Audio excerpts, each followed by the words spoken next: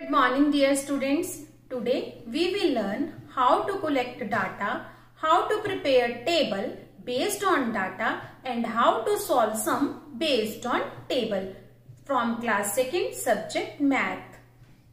Sunil's house is on the road. He often stands outside his house and watches colorful cars passing by on the road in his free time. One day he prepared a list of colorful cars passing on the roads. One side of the list he wrote color of the car and other side of the list he wrote number of cars. First of all he wrote the number of red cars. The number of red car is 12. Now tell me students which color of car he has taken next. Yes, yellow color car. The number of yellow car was 15. Now tell me students how many number of green cars were there? Yes, it was 7. Dear students, next he has written the number of blue cars. The number of blue car is 8. Let's solve some sums based on this table. Tell me students, how many number of red cars were there? Yes, the number of red car was 12.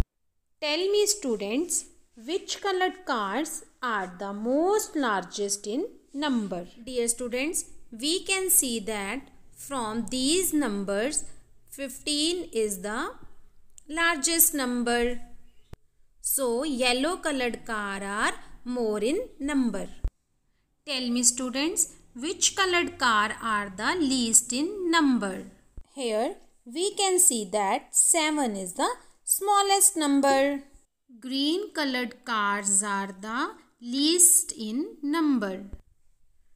Dear students, yesterday health checkup was done by health checkup team in the school. They measured the height with the help of height measurement scale. On height measurement scale, the measurement was written in centimeters. After measuring the height, they prepared a table as shown in front of you.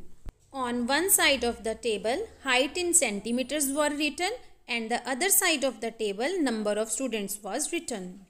According to this table, the height of 4 students is 116 centimeter. The height of 3 students is 125 centimeter. The height of 5 student is 126 centimeter. The height of 7 students is 127 centimeter and the height of 6 students is 129 centimeter. Now tell me how many children are there in the class with maximum height.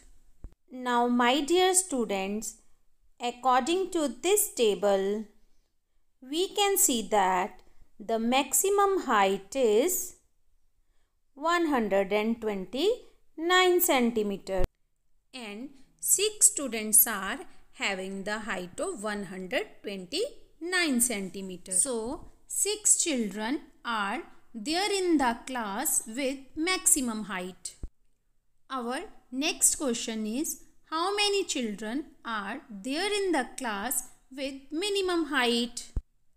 Now in this table we can see that the minimum height is 116 centimeter which is of 4 students. There are 4 students of minimum height. Now tell me how many children are there of 126 centimeter of height. Yes, 126 centimeter height is of 5 children. Now my dear students, today we have learned how to solve sums based on table. Now it is time for homework. Dear students, you will solve sums given at page number 164 and 65 from your home. Thank you.